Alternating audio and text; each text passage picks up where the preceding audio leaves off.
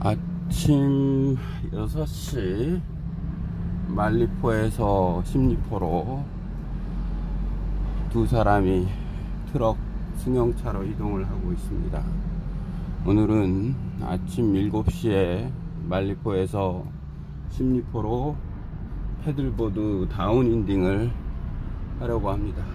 구름이 지금 남풍이 불고 있습니다. 구름이 지금 천천히 북쪽으로 이동을 하고 있는데 이 바람의 방향을 알 수 있는 구름의 이동입니다.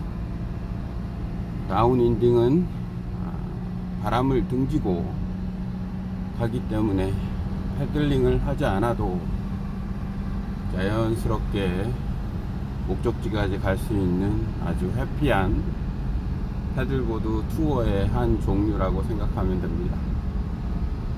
아침 일찍 이렇게 아, 도착지에 트럭을 갖다 놓고 다시 승용차로 back을 해서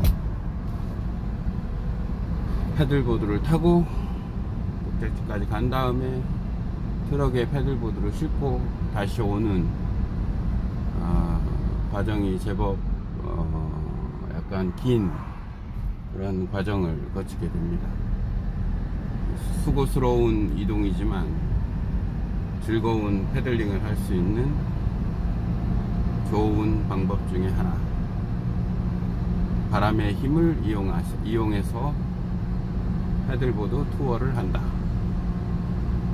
이것은 마치 강 상류에서 어느 정도 유석이 있을 때 강하류로 가는 거하고 비슷합니다.